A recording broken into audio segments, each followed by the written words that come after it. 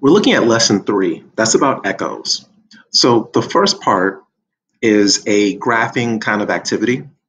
My recommendation is to use uh, Google Docs when you open up this document because you're going to be inserting images. Maybe you want to use OneNote, but you probably don't want to use Kami because you can't insert um, images into Kami very easily. So you want to graph this information.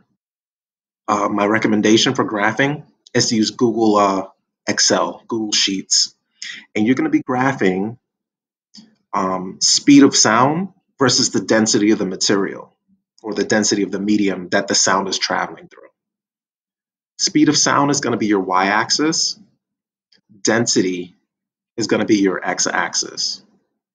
Um, and then you'll be able to answer these analysis questions once you make a line graph about it.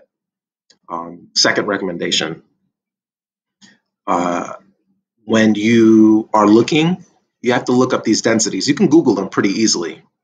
So like air as a gas, you want to find that density.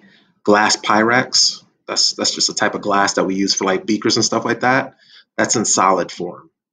You know, oxygen gas. You want to find these densities. The only thing is you want to make sure all your densities are the same units. I don't care what units you choose for density, but every single number that you get for this this this uh, column should be the same. Otherwise, your graph is going to look crazy if the units don't match. So whatever unit you use for air, I suggest you use the same ones all the way through. And then right in this graph area, once you do make the graph on Google Sheets, the line graph, take a snippet of it, the window key, Shift and S, and then paste it right in here then you'll be able to answer these questions.